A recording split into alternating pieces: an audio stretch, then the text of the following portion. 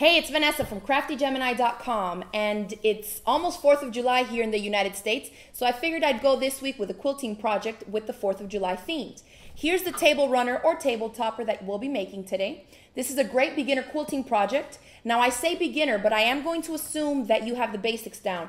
Things like sewing in a straight line and knowing what a quarter inch seam allowance is. So, if you haven't started sewing, or maybe you just recently started and you're not too sure if you can tackle a project like this, I'm going to put up a list now of the different tutorials that I have already posted to my channel that I recommend you watch before you take on this project.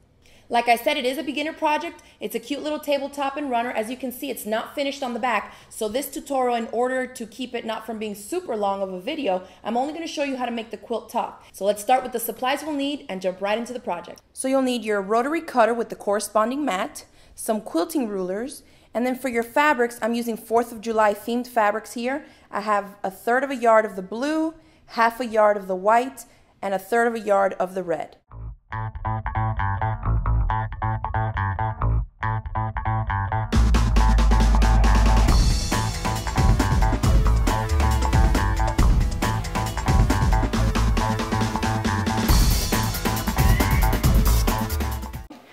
Because my piece of fabric was bigger than my actual mat, I like to fold it in half so it makes it easier to work with. First thing I do is get a long ruler and you see all these little threads coming out on the edge and some of the fabric is uneven. The first thing I'm going to do is even it out. And to do that, I'm actually going to get the fold here and line it up with one of my straight lines on the ruler as close to the side as I can so that I don't waste a lot of fabric. And I'm going to cut there and I have one straight edge. Now I need to measure four and a half inches. So in this case, I'm going to use the two rulers since this square measures exactly what I need. I again line up a straight line here with the fold, line this up on the fold, and I like to kind of hold this ruler down and slide this all the way up just to make sure that I'm all the way on the edge, the entire length I'm going to cut. So now I remove that ruler and where I'm going to cut here, I know that this from here to here measures four and a half inches, which is exactly what I need. So I have a strip.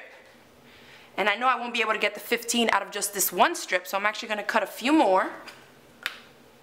Do the same thing. Line this up with one of the straight lines here on the fold. Line this one up. Slide it up and look to see that I'm on the edge there. Line this one up again. And this just takes practice. The more you do it, the easier it'll get.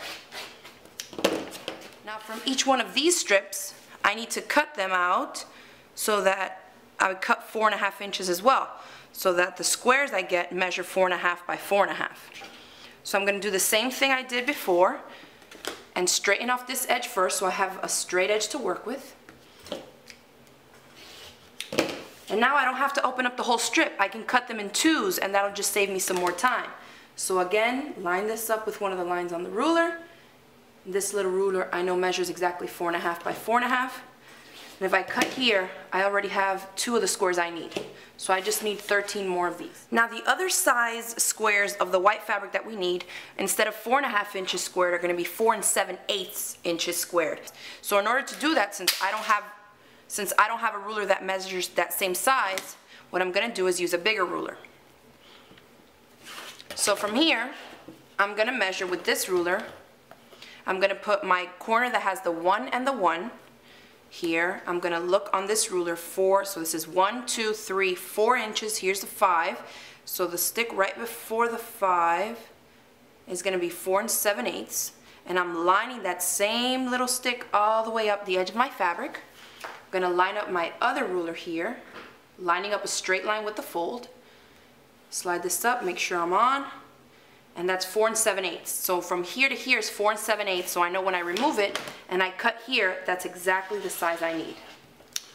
And out of this size, from the white, we need six squares. And I'll be able surely to get that out of just one of these strips.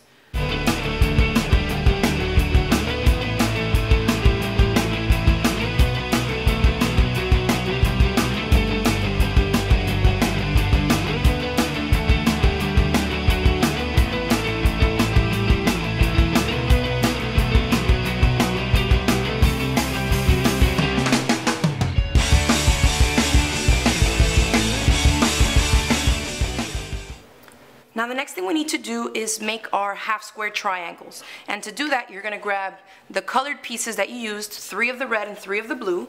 And then remember, we also cut six white squares, the ones that measure four and seven eighth inches square. Okay, not the 15 that we cut over here that are just four and a half inches. Those you want to keep separate. So take the ones that measure the same as these.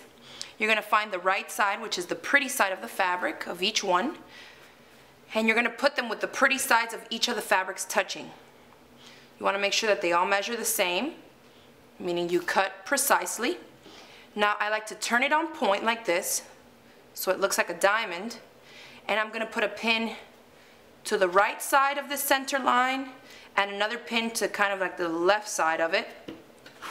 Then I'm going to take a ruler and go from one point to the other point down here and with a pencil or some kind of chalk marker or fabric marker or whatever just measure a straight line down like that. Now we're going to take each of these prepared half square triangle pieces to the sewing machine and what you're going to do is use your quarter inch foot quarter inch presser foot on your machine and you're going to use a basic straight stitch and you're going to stitch one quarter inch to the right of the center line and then also to the left of this line.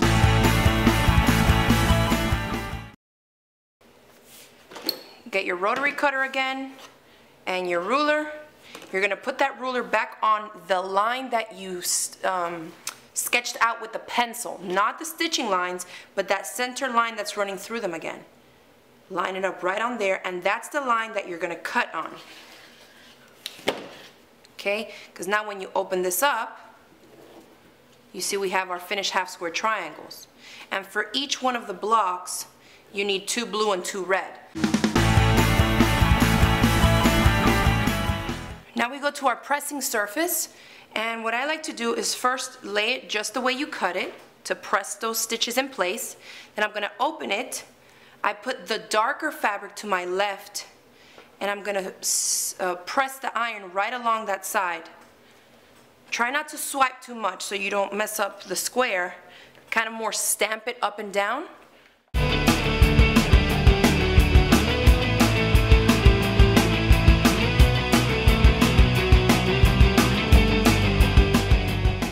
So you kind of lay it out how you want it and then start sewing them together.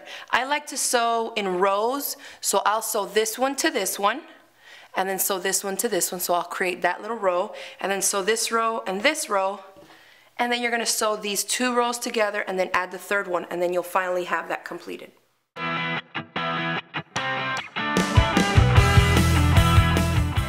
To do is what I designed here in my little design was just to switch one of them up.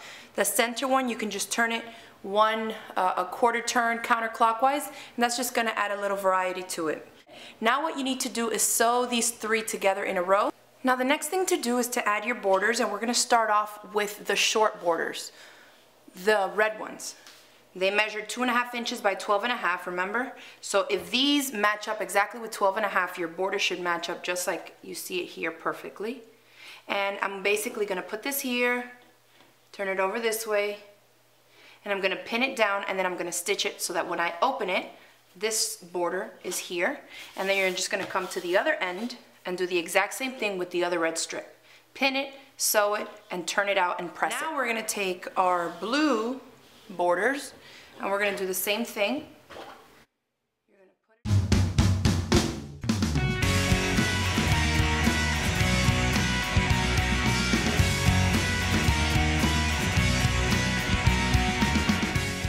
our quilt top is complete and it's obviously not finished. We still need to go ahead and complete our quilt sandwich by putting some batting behind it, the backing fabric, and then attaching the binding, of course. But for purposes of this video, we are not going to go through all those steps because it'll be too long. I do have some other videos, and I'll put up a list here so you all can see other tutorials that I have that will help you finish off the project to make the completed quilt. Now, you still have plenty of time to whip one of these up in time for the 4th of July picnic, and I hope you guys will consider doing it. And if you do try out this quilt top, feel free to upload pictures to our Facebook page. As always, I love to see what you guys make from my Crafty Gemini tutorials. See you next week.